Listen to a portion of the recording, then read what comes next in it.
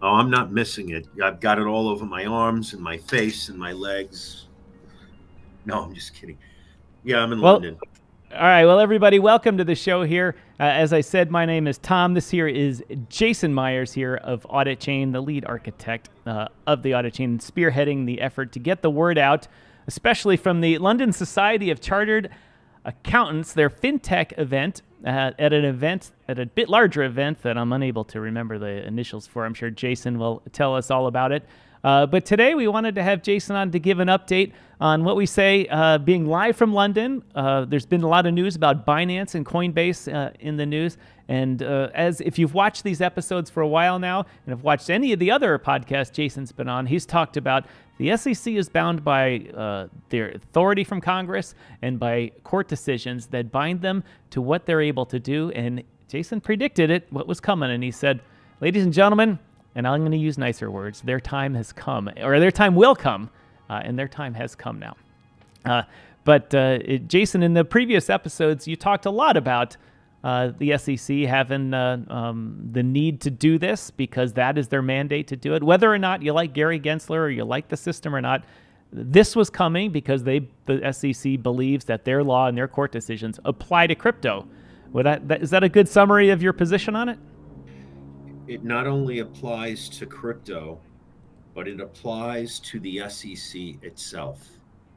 It's not only the issuers of a thing where there's an expectation of a return, dependence upon the work of others, rel- uh, reliance on the work of others, and uh, where there's a perceived to be a common enterprise, right? Um, the SEC is bound by SEC v. WP Howey just as much as an issuer is. And therefore, the issuer has to comply with securities laws, and the SEC has to comply with securities laws, which means enforcing those laws. Right. Right. A lot of people say that, you know, the SEC is regulating through enforcement. You know, as much as I really want to agree with that, because it's, you know, it's my industry being attacked, they are they are enforcing existing regulations. They have no choice. Right. And until that Supreme Court case is overturned, that's what we've got to deal with. And to make matters worse, right? To make matters worse, it conveniently places total control of crypto in the hands of the gatekeeper incumbent banks, right? Right. What is a gatekeeper? We've talked about gatekeepers before. Gatekeepers are banks, broker dealers, custodians transfer agents, DTC, accounting firms, and law firms. They're right? they're they're they're that cabal that that works together to create this system. Yeah, if you're going to issue a security, you cannot get away from a law firm. You cannot get away from an accounting firm. Right. Right? And if you're hiring an investment bank to place the financing or the issuance, then they are a gatekeeper as well, right? Well, if they're the if they're the uh, the, the the gatekeepers and all that, and currently much of the the uh, we'll call them just the crypto tokens in, uh, in general, those can be started by anybody. Uh, and, I use the there's an example out there of a 12 year old that uh, set up a mining rig, mined a little ETH, and then started a uh, an ERC 20 token. Uh, and, and, and, thus, a 12 year old who is not under any jurisdiction in the United States at all as a legal entity uh, can create what they're deeming a security, and thus they're pushing rules to push it all back into that cabal of people that you're talking about. That you can't do that. Well, unless um, you follow those rules, correct? Let, us just clarify that the 12 year old kid, if he emitted tokens Yep. And nobody made an investment decision to get them. Then a case can be a defense, I should say, can be made. But you know, they're going after airdrops too, right? Right. There's noise about airdrops. Nobody makes a decision when they get an airdrop. I don't even want these things because they, you know, they, they, they clutter they, up your wallet. Worth, yeah, they clutter my wallet. They're worthless and they're just meant to get you your attention and spam you, right? Yep. But um, yeah, so look, any company can issue its own securities and sell their own securities. You don't need a broker dealer, right? You should hire a law firm to draft the offering documents, right? yeah. Um, there you go. Sooner or later, you're going to need an accounting firm to prepare financial, uh, bare minimum of financial disclosure to even if you're selling only to accredited investors, right? Under, you know, a popular exemption, Rule 506, right? Once you take on a single non accredited investor, then you've got substantially higher levels of financial disclosure, right? Now, keep something in mind, and just to put things in their proper perspective, 70 to 80% of securities law compliance for issuers of securities is financial disclosure, financial and operational disclosure, risk disclosure, right? So, and the thing is, you know, I learned 30 years ago people want what they can't have, and they all want what's dangerous for them. They're not going to read it anyway. My first attorney on the first deal I ever did, they're not going to read it anyway. Take that chance to warn them as much as possible. Right? Right. And they'll even respect you for it. So, anyway. The, all right. Go, sorry. Go ahead. No, no, no, no. Go ahead. Uh, in, in this uh, in, in the past couple of days in seeing uh, the SEC go at it. Uh, we also had the CFTC go with the House Agriculture Committee asking for a larger budget uh, in order to take on uh, regulating the commodities aspect of crypto. We know there was a court decision helping the SEC uh, be the arbiter of what's a security and what's a commodity. but the the uh, chairman uh, Rostin Behnam went in front of the House Agricultural Committee, which for viewers uh, regulates the futures industry because futures originated with the coffee, sugar, cocoa, and pork bellies things. Um, for more authority to, to regulate crypto and actually to take a lot of it uh, away from the SEC or at least out of the SEC's hands because the CFTC is actually a day to day regulator of markets. Um, uh, and there is very receptive in the House uh, because the, the current Republican group wants to see crypto um, you know prosper more than the, the other party does.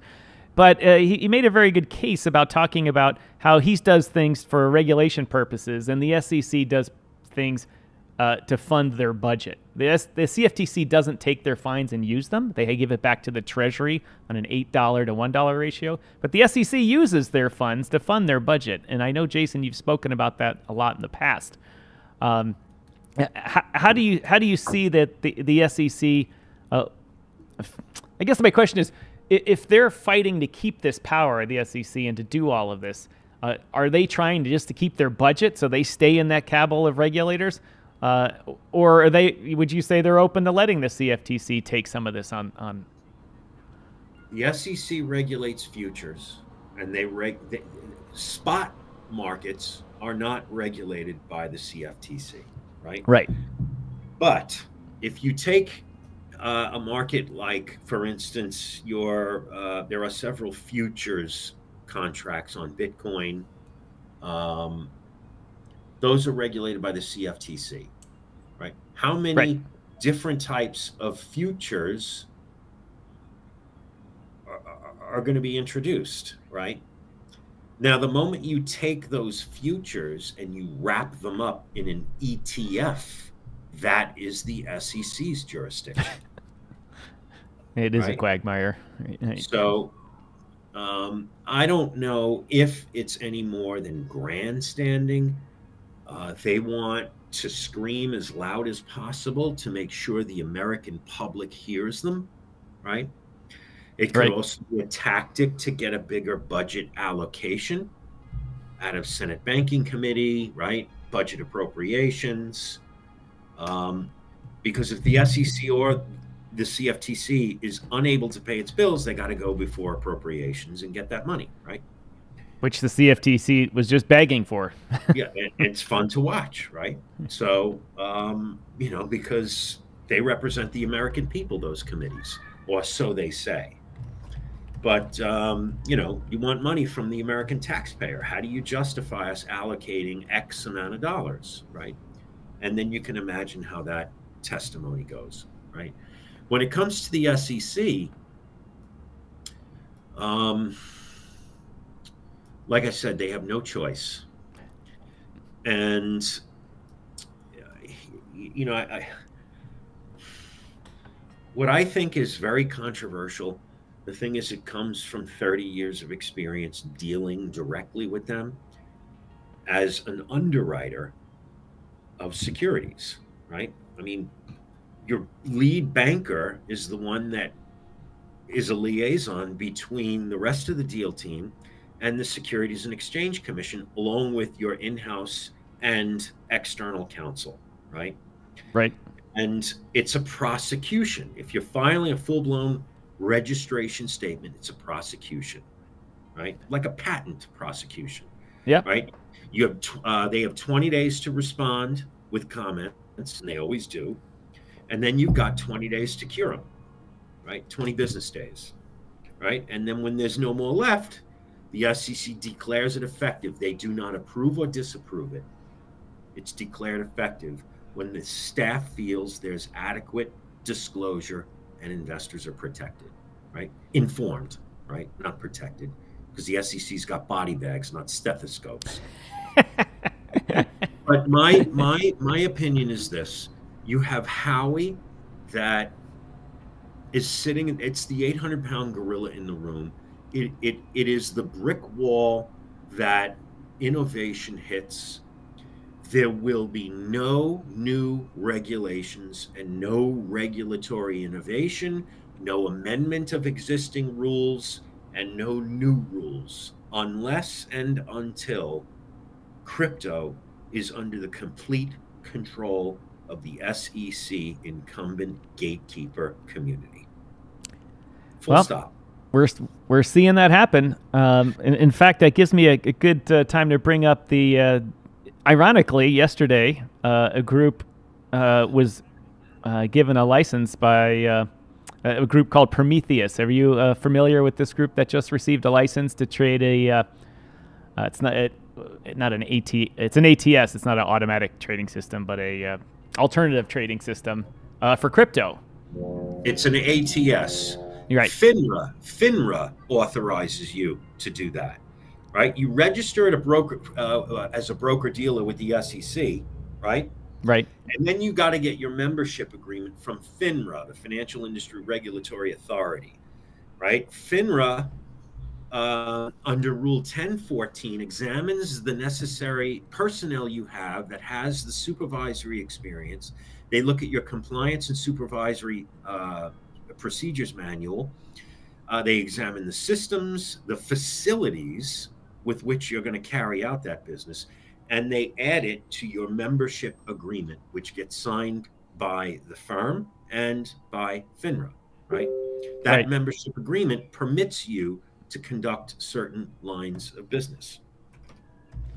Uh, the, the ATS is one of them. An ATS is an exchange that's exempt from 34 Act registration as an exchange, but you must be a broker dealer, right? There is no way out of that gatekeeper architecture. Uh, well, that that that makes a, a, lot of sense. What Prometheus did is it's a, apparently they've been trying for about five years to, or pro, I, am saying Prometheus, it's Prometheum. Um, uh, they've been trying five years. It's a group of, uh, I'll just say, Wall Street lawyers uh, that and former regulators that got together to try and. and this is the story on the internet about them, not my knowledge about it. They got together in order to get something registered and get and see if they can get something through the system, uh, and and they did.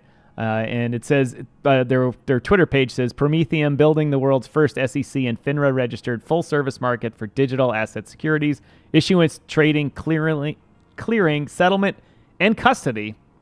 Uh, and uh, um, and they managed to get all of that uh, I believe it was two days ago. The either it was either one day ago or yesterday. Unless you're reading the membership agreement itself, you know, we, we don't know what they got for sure, right? Only the membership agreement tells you what they have.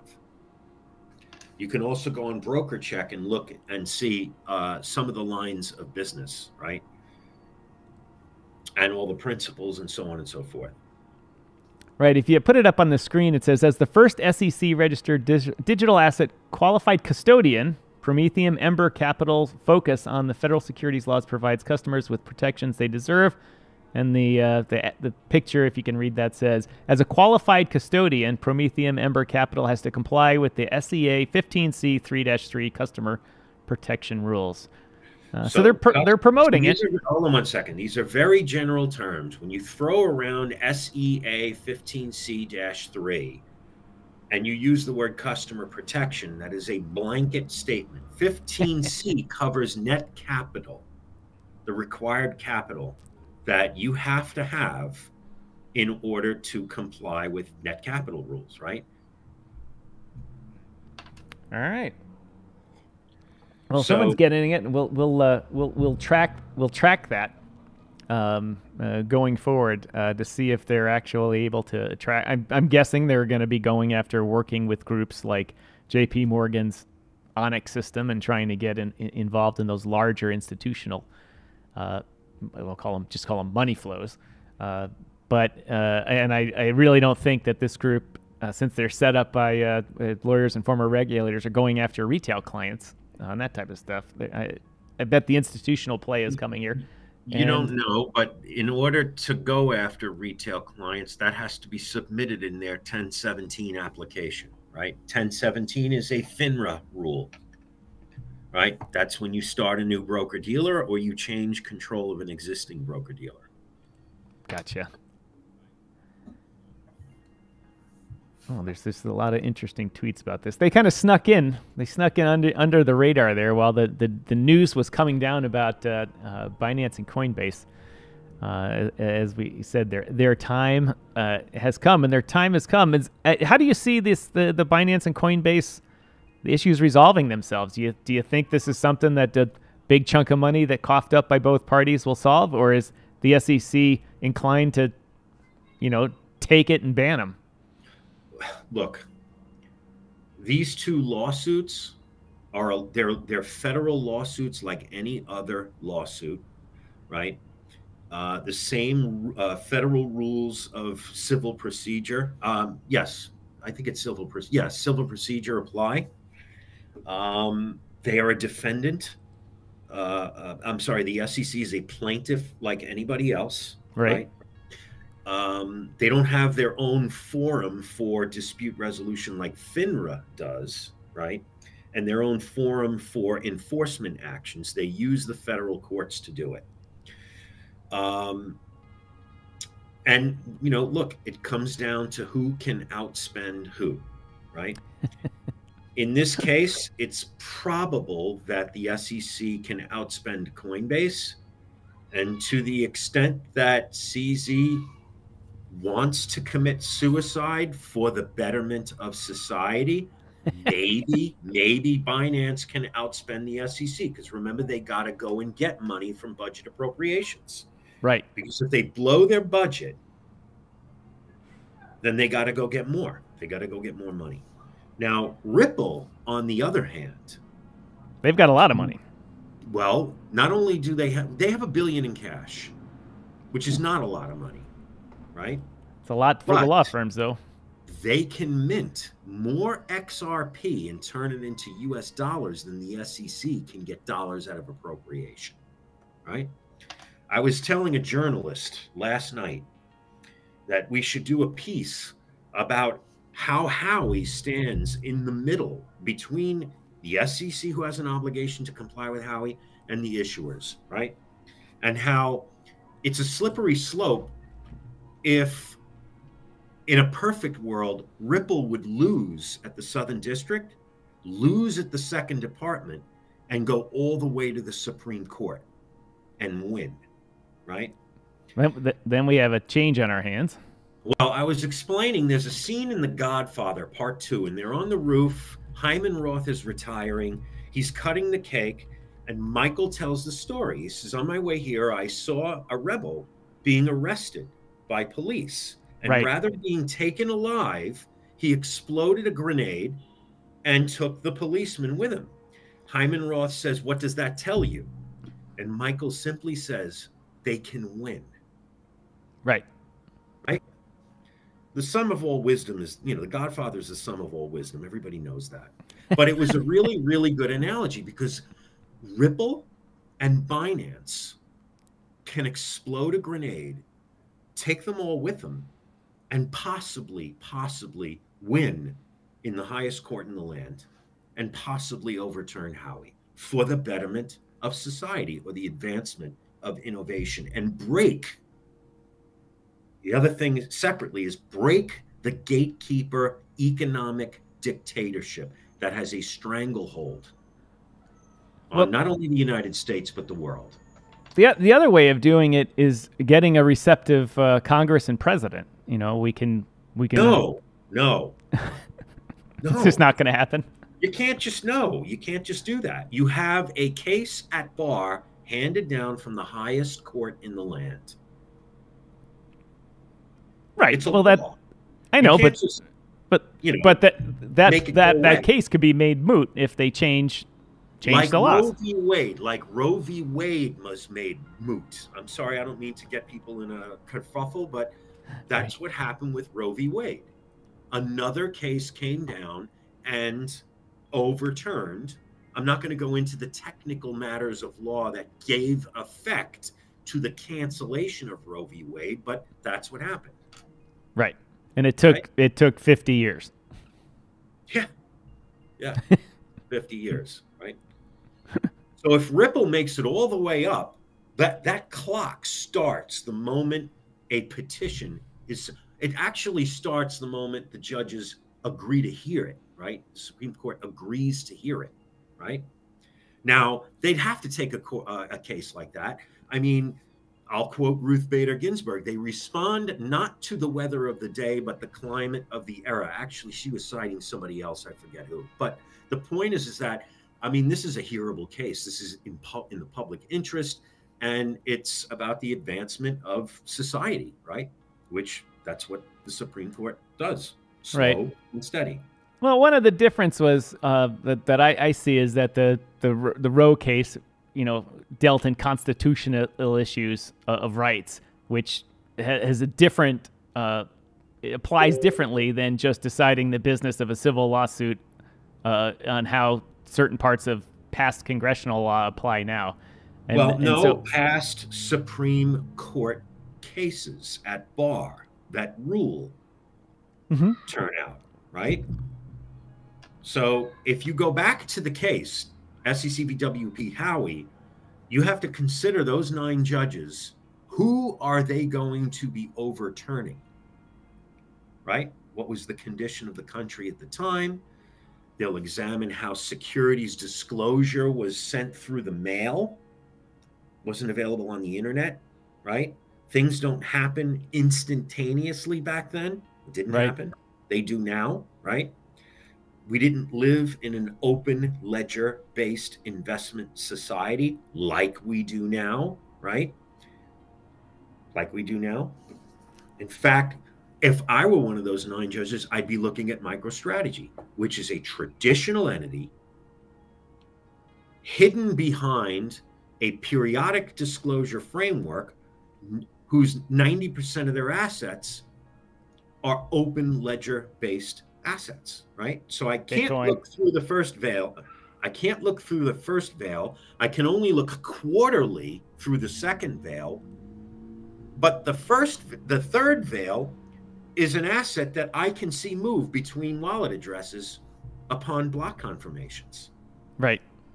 So you're hiding an open ledger based asset behind a periodic disclosure framework contained within a traditional entity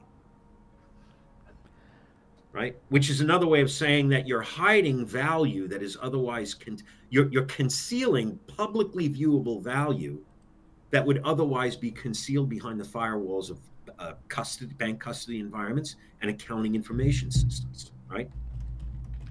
I'm getting into real technical stuff. I don't want to lose the audience. No, it, it's it's good though. It's good though because people need to under uh, understand this, and it also each time you bring up a topic like that, it, I write it down and accuse me for a future conversation to do a little research and expand upon it in a way people can understand.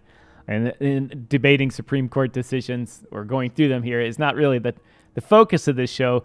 It's it's whether or not Binance and Coinbase are going to get out of this alive uh, or not. And uh, uh, you know, the jet. If you read the internet, it's I mean, Gary Gensler's Twitter page.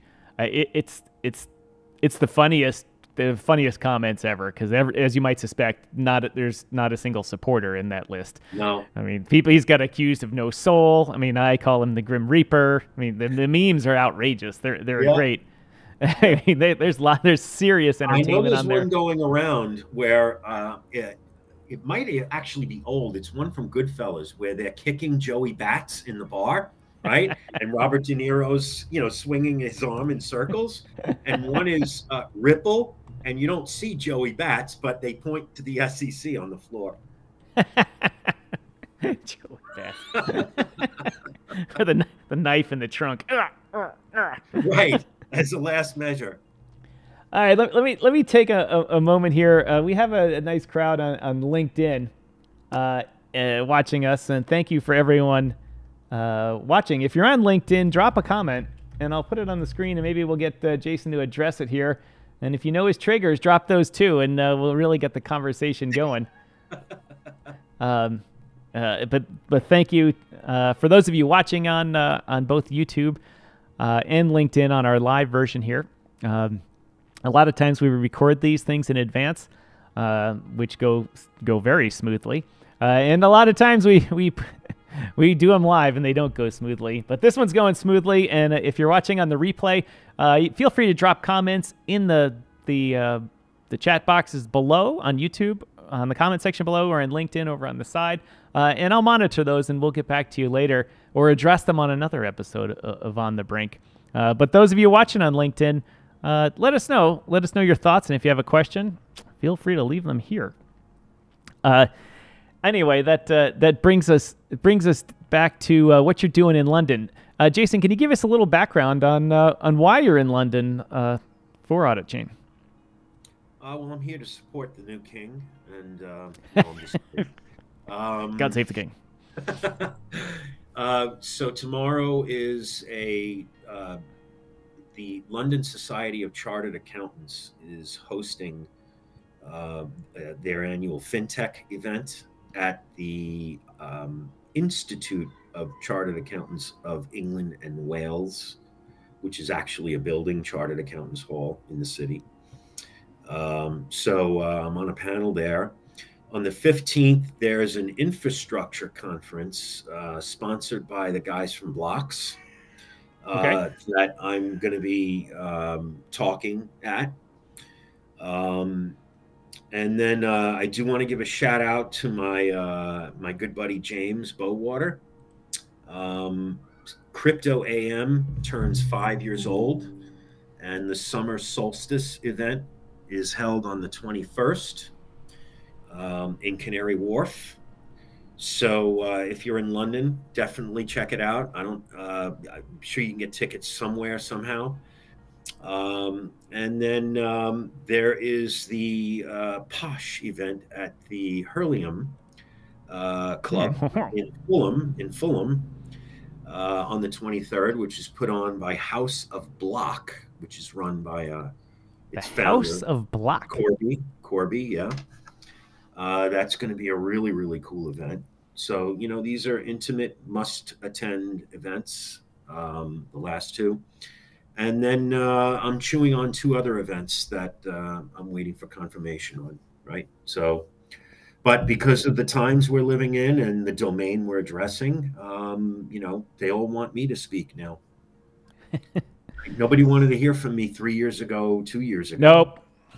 They're like, yeah. let us just do our stuff and get away yep. regulators and people bringing structure to the industry. So that that that's a good uh, segue into this question that I had uh, written down and, uh, and other people have asked me as a lead up to this event. Uh, with the regulation, with the the environment you see now in, in the, the digital aspect, digital asset world, fintech world, and everything towards, we'll just call it distributed ledger stuff, otherwise known as crypto, uh, and other projects um, based on, uh, on blockchains. Uh, how does an event like this, and uh, event meaning the the regulatory climate, and specifically what you're doing in London, how does that advance the Auditchain uh, protocol and, and the software? Is it, is it giving, they're wanting you, is this now showing them the way that, all right, if you're going to have structure in the markets, uh, you need structure underneath in the under the hood too, and that's Auditchain. Are you getting that feeling also? Well, let's.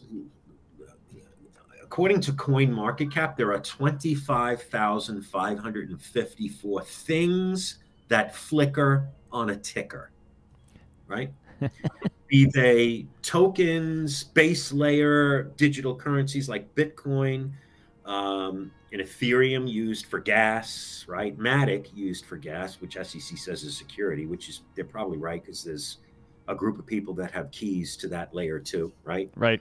Um, so, if assuming they're all going to comply with securities laws in the United States, which they won't, um, but some of them will. Some of them will. Uh, financial, machine readable financial reporting is mandatory. There's no way out of it, right? Um, why we talk in London? Well, we're going after accountants, we're going after organizations, uh, we're going after infrastructure providers, um, and we're going after investors, right? So uh, and we are going after regulators, as I had said, uh, I believe it was last week. Um, but uh, again, you know, these are separate jurisdictions. Uh, these uh, these jurisdictions are influenced by the United States, right? Um, because every other jurisdiction has U.S. law to comply with when it comes to anti-money laundering and identifying who your customers are, right? Otherwise, you get kicked off the SWIFT system if you don't comply, right? So, um, uh, which is otherwise known as sanctioned, right? And if you get kicked off of the SWIFT system, you're an island. Can't get off. Nobody can get on. Otherwise so, known as Iran, Russia, right? North Korea. Uh, yeah. So um, it's hard to directly correlate the two when it comes to jurisdictional issues. I think that was your question, right? Uh, sorry, my great studio here butts up against the road, and the noisy truck can't escape it.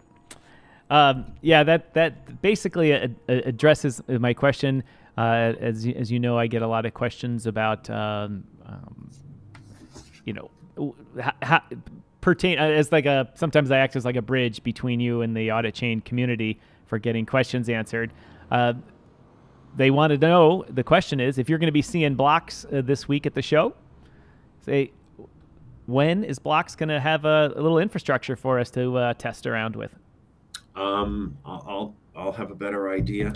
Well, they gave us, you know, we they're wiring up the infrastructure that allows anyone to just spin up a Pacioli node. And uh, for any DevOps engineer out there listening, you know, it's not a trivial thing to create that infrastructure that automates and orchestrates the virtualization of a number of different containers, all of which are needed in order to perform what we're talking about, which is spinning up a Pacioli node, right? You got right. two Docker, two Docker containers those Docker containers are within another virtual machine on a server, right? Unless you're getting a dedicated server, right?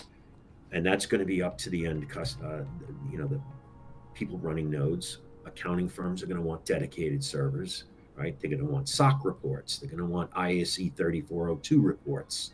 They want certification. They need certification, right? It's the law that they have certification, right? So it's not as trivial as people make it out to be. Uh, no, not at all. And, and getting the infrastructure right it's one thing if you're setting up infrastructure to run a gaming server. Uh, it's totally totally another thing to set it up in order to run uh, uh, financials uh, and, and and parse financial information where you got to get it right. and so it's not uh, only that, but information that may not be published yet can't be leaked to other servers or the public, right? So there's security measures that have to be that have to be taken. You know, that's a good point. I, ha- I hadn't thought of that. So the, the certifications in security have to be, uh, and I don't know what the regulations are for that, but they have to take into account that you're processing non-public information. Yeah, that's right. Five years ago, I remember, I'll never forget it. The Edgar system got hacked. Right. Right. right. The SEC's Edgar system got hacked. People got access to material non-public information and they traded on it. It's the funniest thing in the world. I, I think didn't that go to court and the court said, "Hey, you put it on the servers. The fact that you remember. didn't intend for it to be like it's it was still public, and so everyone got to keep their money." I don't. I don't remember. No public information. I, there, there's a qualification to public information. It has to be absorbed by the public, right? You don't just roll up a window shade and say it's public and close it, right? because how many people are going to actually see that? The right, public none. see it. So anyway. All right, and, and how about uh, just a quick summary of the, uh, the the final development efforts of the uh, the front end for Pacioli uh, and Luca? You mentioned in previous episodes that you were um, uh, still working on those, so so you have something that's that that accountants around the world can use easily because they're busy doing their accounting. They don't need to be trying to figure out something new. Uh, uh, and how are the efforts for uh, development, software development, uh, finishing up here as we present this to customers? It, they're coming along, right? Um, we're going to get an additional front end, additional front end resources after the raise, but also, you know, a regulatory client's going to have a lot to say about it, right? once you get a regulatory client, you're going to start to get accounting firms, right? One doesn't necessarily mean that you don't get the other, but um, they're going to have something to say about it. The enterprises are going to have something to say about it, right?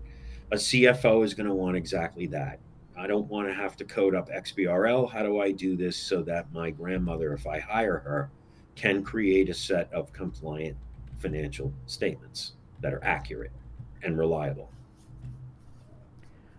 So when we launch with a customer, they're going to have a great impact over the final look and feel and functionality of the front end because right. that's pro- that's part of product that's part of product acceptance well you'll you'll see you'll get feedback and you'll see which you know which well, iterations it's not only work. feedback but you specify what changes need to be made to satisfy them and then you make them right right so, and you document.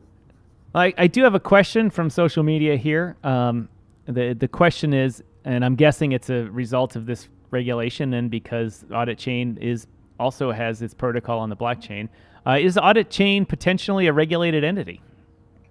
By who? Uh, this is all I got. Uh, I'm guessing yeah. because you have a token or, or something so, like that. Um, Auditchain Labs is based in Switzerland, right? and uh, we don't take U.S. people. Um, we're not auditors, so we don't have to register as auditors. Um, we don't have accountants giving opinions. We're not bookkeepers. We're a technology platform. Right. Which outside the United States represents the lowest burden of compliance, right? In Dubai, uh, there is a license granted for every single entity, whether you open a barber shop, a spaghetti factory, or a financial intermediary, right? But that's just part of corporate formation, right? But you do have obligations you have to meet every year, just like you've got obligations when you form a company in Delaware or Nevada or Wyoming. Right right? What What about on the uh, on the the the Pacioli side, the Pacioli side, uh, in which corporations have to buy in order to pay the gas and to, to use it, they have to use the uh, the Auditchain token. Is that uh, um, could that possibly get wrapped up in any of these, you know, um, SEC, CFT arguments? If you want me to make a declaration that there's no regulation, no, uh, I know I can't do that. No way, especially not in this environment, right? I think there was a book that flew across the room. Our counsel just threw a book at me.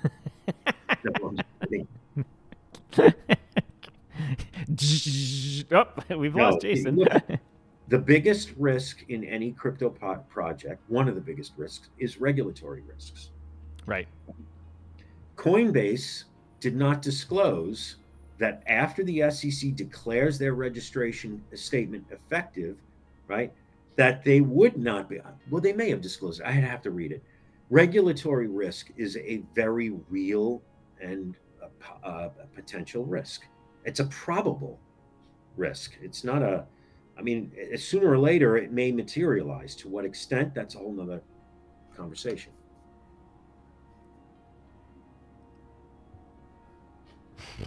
Look, what we're the doing disclosures unprecedented, right? The, uh, the whole space, what we are doing is unprecedented, right?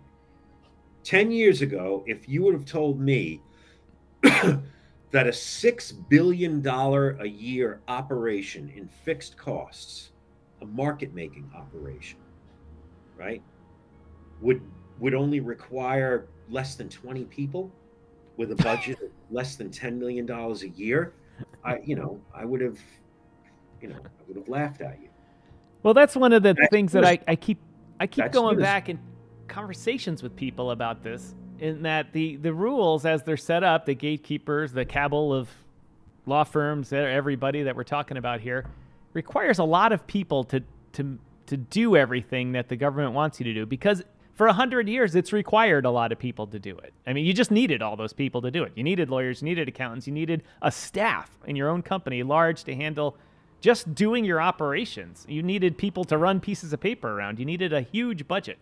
Now you don't need a huge budget. You need to pay the lawyers still to get regulated to, to register and all that. But but to run your six billion dollar company, you don't. You just need twenty people, you know, sitting in their gym shorts uh, or their underpants uh, doing it. They may not be doing that's it a, well, but they're doing that's it. That's a technical distinct. No, they're doing it. it. Are you kidding me? Uniswap has changed the world. My oh, I was referring to FTX. Forget FTX. That's not a DeFi. That was a that was a TradFi platform with no. I don't want to talk about that. Right, but you're right. Uniswap is not a large organization. It doesn't have a big a big footprint uh, in employees or, or overhead, but they're a massive market.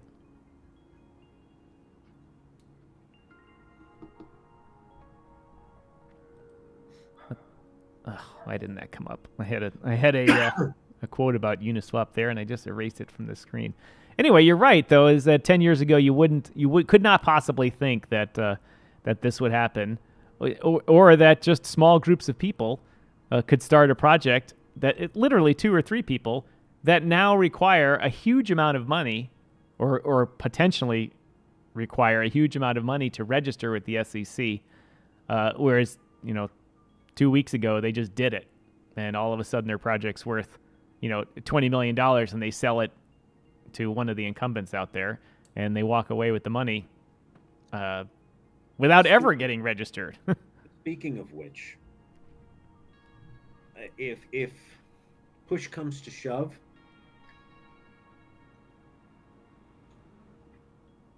a Coinbase will not be an independent entity. I actually see them being bought by an incumbent SEC gatekeeper bank. I, I totally agree with that. I don't know how their fun, their shares are structured, but it could easily be a takeover target. I think it'll be a blue one from a branding perspective. I think it'll be a blue bank. it's easy for the banks to do that. They got they got the money. And while Coinbase is worth a lot, it's not. It's down huge. Their total value is down a lot, and uh, you know that that can be seen as an intentional play by the banks to help push, use their efforts to help push the the, the market and the regulations against them to lower their price. Then they buy them cheap. That's what they're doing. You you think that's not what they're doing? I get persecuted on LinkedIn that I lack humility and the nuance for complexity. This is not complex at all. It's a gargantuan industry that owns and operates its main regulator. Right. And there's a Supreme Court case on their side, which seals and locks in the juices and the flavors of that gatekeeper architecture. It's, people it's don't people don't realize the uh, worse uh, than people think. The well, one of the issues, and that most people that follow government regulators, and you've brought up on this podcast uh, in the past, is the fact that the employment door swings both ways between the SEC uh, and the major banks. People work at the banks for a while, then they go work at the regulators, uh, and they and then they go work at, back at the banks. It's no different than uh, junior associates at a, junior partners at a law firm leaving to go work for their major clients uh, to ensure that everyone's on the same page, and then later uh, that that lawyer comes back and works for the firm again, and they assign another junior client over there, uh, and, and, everything is one nice big employment circle uh, and keeps everything running smoothly.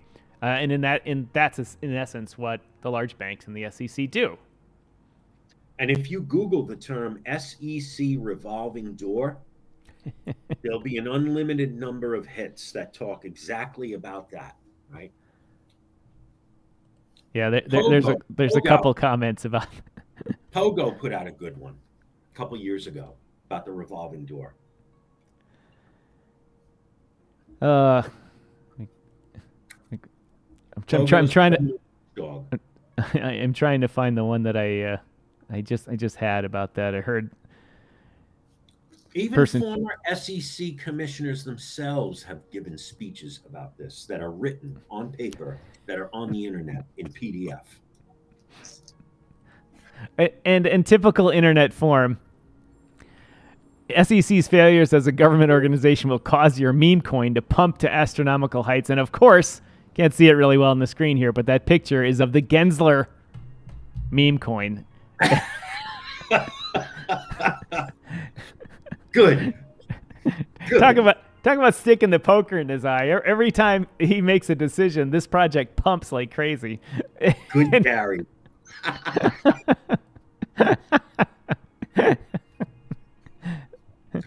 uh, you can't make this stuff up, really. You know what really pisses me off? Do tell. How you can make statements like, you don't need digital currencies, we have them. It's called the US dollar. You and it's mostly digital now, anyway. Right? So I don't know if he's retiring or, you know, how could you make, I mean, if you're planning a career move after the SEC, how do you make public statements like that? look, don't be surprised if he starts working for J.P. Morgan or Goldman Sachs. Goes back to Goldman, right? He could just go take his pick. They'll pay him. Of course, they'll pay him. Anyway. All right, so we got two questions here from the audience. Uh, well, two questions from one person. Let's uh, put them up. They're all kind of on topic. Uh, thought we'd start. Uh, first question: If the SEC asked for help right now, would Auditchain be accepting this? Do, do you think there's a any any way in which the uh, the government would reach out to a private organization uh, on something like this to help? The only help they're going to need is building higher fences around their building, the Capitol building, the White House, because if this keeps going the way it's going, it's going to make January 6th look like a kumbaya song. Well, all they need is a, a presidential candidate that is, has two two things. One, su- supports the crypto world, and two, is actually electable. Well, uh, there, there are two. Um, and I'm not endorsing anybody yet. Um, Robert F. Kennedy Jr., his father and his uncle were killed for being anti Fed. Right. But, you know, they were killed, but, you know, his uncle was killed by a sing. I don't want to get into the single bullet theory. Uh, only idiots believe that. But anyway, um, he's pro Bitcoin. He's anti Fed. He's a consumer advocate, like Ralph Nader was, right? Right. And you know, he he's all about vaccine safety, right? Um, I can't say he's an anti-vaxxer because there's no evidence to that effect, but he is certainly a consumer advocate. Well, that's true. He's one. Um, I don't know if DeSantis is one. I think he's just grandstanding. He's a total grandstander, in my opinion. He's vindictive I, and revengeful, and I, that's not; those are not good qualities of a leader. And anyone that does a pulls a U-turn this election, I will I won't believe. Right? Oh, now I believe in Bitcoin. Right? Right. I can't. I just. I. I can't. Right. Jack Dorsey just announced Robert uh, endorsed Robert uh, RFK Jr. That's interesting. Right. And look, there were there will be a lot of elderly people in this country that will vote for him. Why? Because they want to see Camelot come back. There's still I a lot of old people that talk about. It. I, I would like to see it too. God, the world loved us then. We could do no wrong, even though we were bombing countries like crazy and invading other countries and under the cover of the CIA and meddling in everyone's affairs in South America. We were still loved everywhere because of this, uh, you know, this great marketing campaign we had. now it's just bad news all the time. Uh, we got we got another question here. Uh, uh, also, uh, Jason talked about Uniswap would Auditchain consider something like work together with Uniswap? Do these types of I guess the question be, could be more think could could it be possible or is that the technology doesn't work that way? It's not that the technology doesn't work that way. It's a decentralized protocol. You don't need an audit firm to verify with tools that are not as superior as the contract technology that proves the state of the contract, meaning there's a million dollars of USDT and a million dollars worth of whatever the other side of the pair is, right? You don't need an auditor for that. It's self evident, it's self auditing, it's it, it, it, the proof of state is in the code and in how it compiles and gets executed, right? Um, if you're talking about the Uniswap Foundation itself that garners revenue from that platform, that's a different story. Right, that's different. Right. And just to put things in their proper perspective, everybody says, yes, it's a DeFi protocol. Um, the first question I ask if I were a regulator is I would send out as many subpoenas as possible. Eventually, I'm going to get to someone that had access to or possession, custody, and or control over the DNS settings for the domain name that renders that that that that uh, resolves the front end that you interact with those contracts with, right? Right. And therein lies reliance upon uh, the work of others, right? If you look at it from a Howey perspective. Unless they block all US IP addresses, right? With a very, very sophisticated scheme that for sure blocks not only US IP addresses, but is able to detect if a US IP address is being pinged off of a second jurisdiction's IP address, like what happens with a VPN. Right?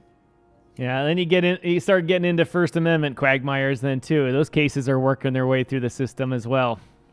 But if you are Hayden Adams and you don't want to have anything to do with the SEC, that's what you'll do.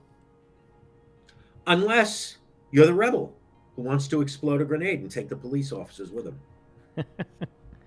right? It, it, possible. Note for the great YouTube reviewers, we were like talking that. about the movie Godfather 2 there.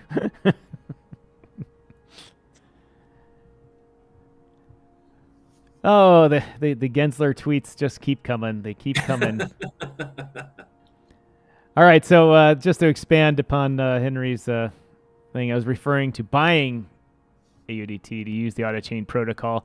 I guess uh, Jason very rarely speculates in those types of things, but uh, I'll let him answer that question if he wants. Well, again, why would they use it? It's a decentralized protocol. Right?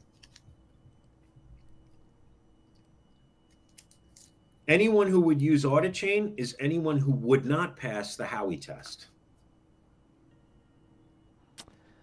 No one's against regulations. People are against SEC broad statements that create so much FUD that crashes markets and creates uncertainty and fear, uh, which we saw yesterday and the two days ago. The, the markets dumped after uh, after these announcements, but the markets came right back. Uh, but what people forget about, so people are like, well, whatever, the markets went down, went back up. What people forget is because of their annou- the SEC's announcements, a lot of people got stopped out on uh, on orders and lost and lost money because of that, and people are angry about that.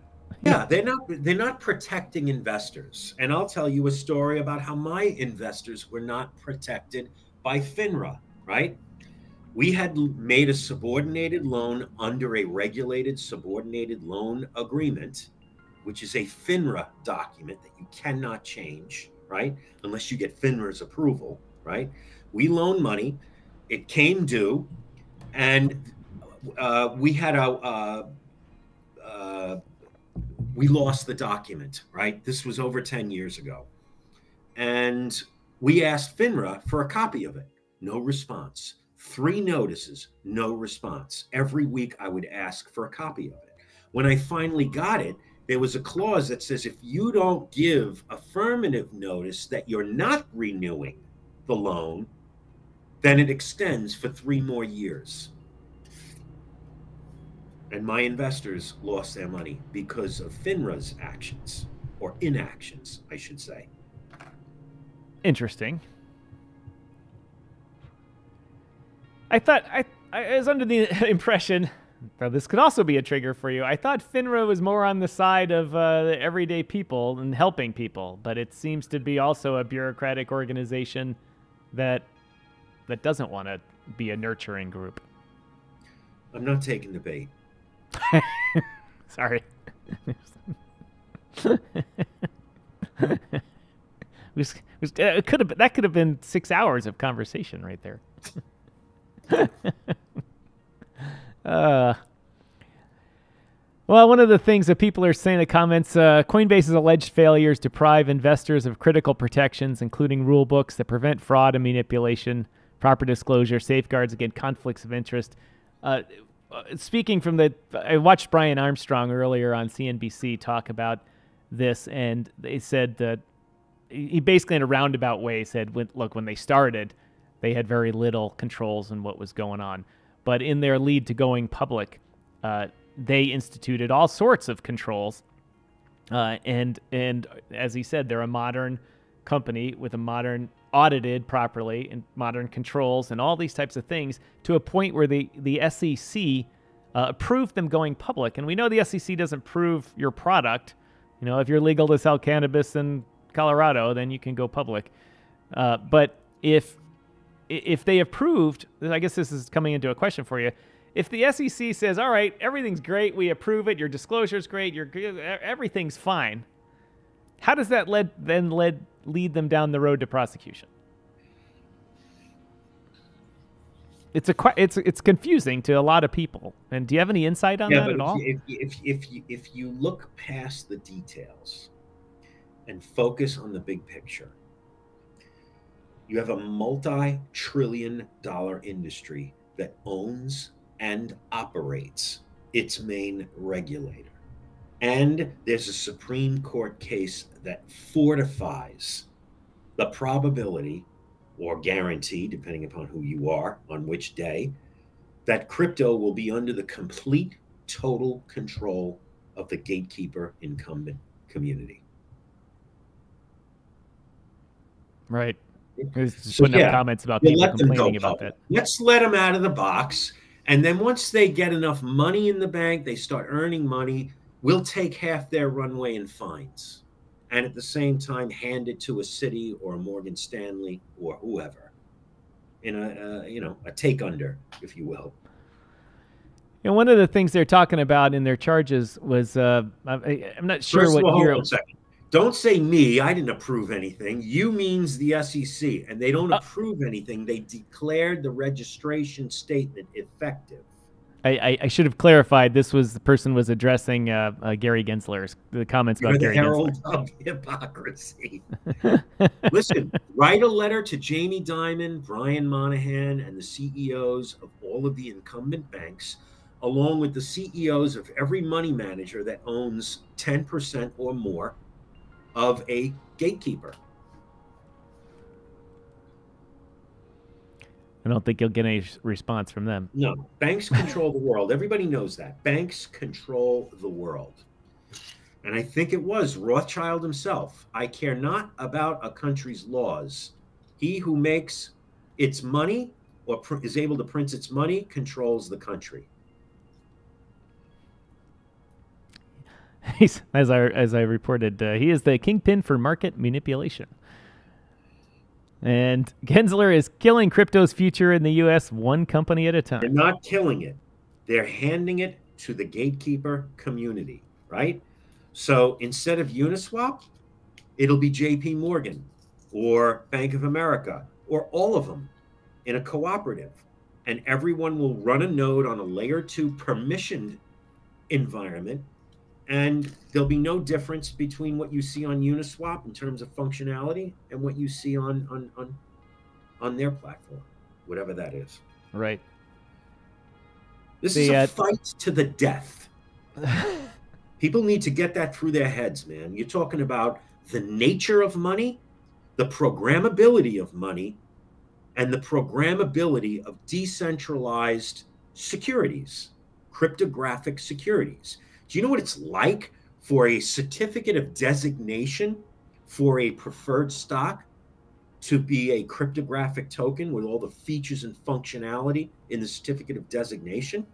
You know how much that saves? How much money that saves? We're Puts talking of trillions of dollars in operations gone, operational costs gone. This is a fight to the death. I'm well, sick and tired of being a bad guy. Nobody wants to listen to me, but almost every history is filled with examples of people fighting efficiency and market forces and efficiency, and they they put up fights for a long time, but eventually the market wins, and uh, it may take you know a decade for another Supreme Court decision to help to help it out, but when things get more efficient because of technology advances, they almost always win. Listen, I never thought the day would come that I would be rooting for Ripple. we all are. right? Yeah. What on a, a, a quickly you you brought uh, you brought up a topic uh, earlier about um, I should say I brought up a topic earlier that we sort of addressed yesterday. That the CFTC chair uh, Rostin Behnam uh, was directly asked, "Is uh, Ethereum a security?" And he answered that question, uh, "No." It's not. It's a commodity. And, he, and he, he gave a reason why. He said, because we did a thorough legal review. He said, we didn't just make a decision based on the feelings of the market. We did a thorough legal review uh, for it, and we believe it is not a, a security, uh, it is a commodity. And we see the SEC comments of the past two days, including when they talked about all the other tokens on, uh, on Binance that were traded that they consider a security. They left off ETH, but they've not they've never said and they've never answered the question that Ethereum is not something that they uh, have the power to regulate. Uh, why why would you why is this happening? Why why why don't they agree on things like this? Or why why don't why is the SEC punting on it when the CFC CFTC has said, "Hey, we've done a legal review. This is what it is." There's going to come a time where Ethereum is a security. And the legal analysis that you'd have to draw has a lot to do with the number of staking nodes on the network and who runs those staking nodes, right? The fact is, if I delegate my ETH to Coinbase and stake it and let them handle the infrastructure, that is an investment contract. Now, many of you in the audience will say, no, it's not, but it is. You're earning a return. Probably you're, is. You're expecting a return. Is, right? Right. So you think banks don't want to be in that business? You think they don't want to be in that business? They want they want an unsecured loan from you to give you piddlings back. So, well, what, what from that staking thing, I, I, I, found in the in the documents that were filed with Coinbase. Uh, let me rephrase that. In the in the state of California, they're also ganging up on uh, on Coinbase, and they reveal that in the state of California, there are 644,000 residents of California staking on Coinbase. That's 3% of their population over the age of 18. Extrapolated to the US in general, it's about 10.4 million people staking on Coinbase. That's a massive amount of people staking for something that most people you stop on the street they don't know anything about. But apparently 3% of the people have an account with Coinbase doing that. I, I find that first of all, I find it hard to believe, but that's the numbers that was reported uh, in, in, the legal documents. Maybe people are fronting for their friends in Asia and China and stuff, but uh, the the point is they have a, a big a big presence in the state of California, in the United States, of people that are clearly not being defrauded because they're still being active. They're still actively staking. Yeah, uh, but you've this. got the state of Florida also, and the state of uh, excuse me, state of California the state of California is one of the worst securities regulators of all 50 states. right? By the way, something just came out. The court requests clarity from the SEC on Coinbase's request for clarity. the SEC is going to point to the lawsuit that they just filed, right? The SEC has seven days to respond to a court's request for clarity on Coinbase's lawsuit against the regulator court overseeing the Coinbase v. SEC case, not to be confused with the SEC v. is seeking clarity on whether or not the SEC, with its legal action against Coinbase, will be denying the exchange its request for clarity. The court request comes after Coinbase filed a writ of uh, mandamus, essentially asking the court to oversee the commission's approach to regulating digital assets. Right. The SEC is now being asked by the court to respond to a few points within seven days. So I'm not going to read the whole thing, but that just came out of Blockworks, right? Um, and just to, I want to give a, I don't know who wrote this. Uh, Catherine Ross wrote it. There's a guy, Byron Gilliam, great, writes funny stuff, sends the newsletter out every day and the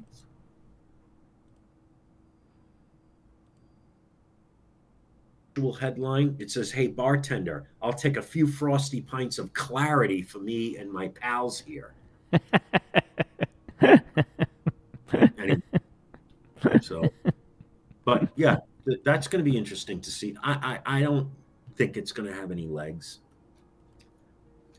the clarity Howey, is the clarity. The 33 and the 34 Act is the clarity, right? Is it a mm-hmm. thing that someone's expecting a rate of return on? Yes. Are they relying on the work of others? Yes. Is there a common enterprise? Maybe. But that's not as important a hurdle is is the expectation of a return and the work of others reliance on the work of others, right? Hmm. There's always five to 10 people that someone who's buying a token is relying upon, right? Uh, anyway,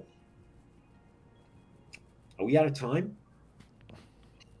Uh, we we've uh, gone gone a little bit past an hour here. We could go forever on these topics, but uh, we all have lives to get to. Uh, I know our listeners um, asked some good questions today. Um, as I tell, as I'm telling our uh, LinkedIn crowd and our YouTube crowd, uh, watching on the replay, if you get this far in the broadcast, drop some comments in, and we'll pay attention to them and address it either on the ne- next episode or as a reply in the comments.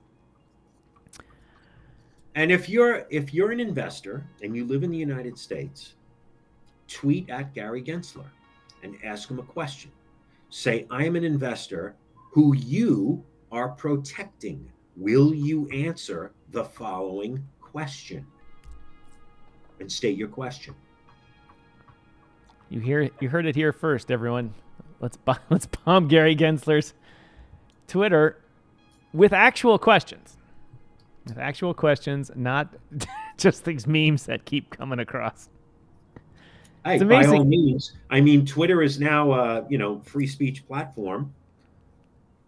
I, I, I gotta, I gotta tell you, the, the, internet is really the good at making. Versus Larry Flynt governs the First Amendment. That was the last case at bar that fortified the worst people on earth's right to exercise free speech. Yep.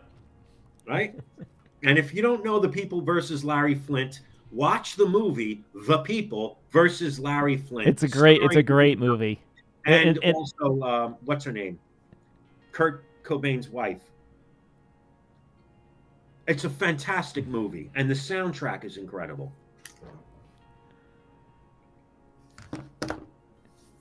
Gary, this is blasphemous.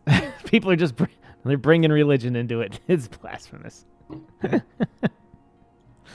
oh, they, they, they could go on forever. I, I, wish it was easier for them to show them on yeah. my screen because we could comment them all about it. You know what to do? Ask questions on my LinkedIn, right? Go to my LinkedIn. Uh, if you can just put a, a, a uh, URL to my LinkedIn account and ask questions. I'll answer them to the best of my ability in a centrist way. I won't be sensational. But uh, you know, I have 30 years of experience dealing directly with the SEC under their regulatory regime. Right? lawyers, want, lawyers want half your runway. That's the other thing. Why go straight into the front door of the SEC for 100 grand or 200 grand when they can get 5 million? Pushing you over the edge and then lassoing you and saving you and saying, See, I saved you. Which has happened to me a bunch of times in my career, but it's another story. All right, ladies and gentlemen, you heard the discussion today. Uh, like I said, if you've got more questions, uh, drop them for us. Uh, we'll have a follow up event uh, sometime after this to learn how the London Society of Chartered Accountants FinTech event went. And, and I got to tell you, if there's anything live on the internet, I'll capture it. And uh, maybe we'll make a meme or two of Jason instead of uh, making fun of Gary Gensler. No, we won't, but we got to. You can. You can. Free speech. I'm, I'm, I'm sure the UK soon will have their own version of, of, Gary Gensler to be made fun of, and the, the EU is working hard at it also. Uh, but the world the world's piling on uh, on Mr. Gensler right now, uh, and they're they're wanting to see see him uh, resign. I don't know how how long does he go for before he has to be renewed in his job? Four or five years? It's a four year term, and he gets to get reappointed. Can the can way, they be fired? Harvey, Harvey Pitt just died. No, no, none of you may know Harvey Pitt. Some of you may know Harvey Pitt. He was the SEC chair during um, 9/11. Yeah, and then he, you know, uh, had a law firm and a consulting practice, and worked for the, you know, went to the other side and made a ton of money. Anyway, Well, ladies and gentlemen, like I said, you heard it all today. You heard the good news, you heard the bad news, you heard mostly bad news. But it's news we've been talking about for a while. Uh, as I say, Jason has been telling everyone, either here on this show or on LinkedIn, the rules are the rules, and the SEC has to follow them. And so these things will happen. Uh, and they did. Uh, and they did. It's going to take a lot to change them, uh, including um, everything from the Congress doing its thing to a Supreme Court doing its thing. But by that time, a lot of this business is going to be overseas, and the U.S. will be missing out uh, on a lot of innovation, uh, and, which is unfortunate. Uh, very, very unfortunate because generally our market leads to very quick iteration of inno- new innovative topics, and we can come up with new things quickly. In other jurisdictions, we'll see that, uh, which is which is sad but anticipated. And you'll see you're seeing companies like Coinbase now poking around the world. Hey, let's go operate somewhere else. But they can't escape the long arm of the SEC if they're an American corporation. So There's not much they can do about that. Jason, before we go, anything else you want to talk about? What's coming up? Things you want to mention for the uh, audience there? No, we'll touch base again after uh, you know one or two of these events. Right, one's tomorrow, then uh, next week. Right, maybe we'll do another one of these next week. All right, ladies and gentlemen, that's all we got for you this week. Uh, I'll be if you're watching this live, I'll be live tomorrow morning on DYOR Live, which I will for sure recap some of this. So everyone, Jason, thanks for appearing. Good luck at the uh, events, and everyone have a great day. Thanks. Thank you.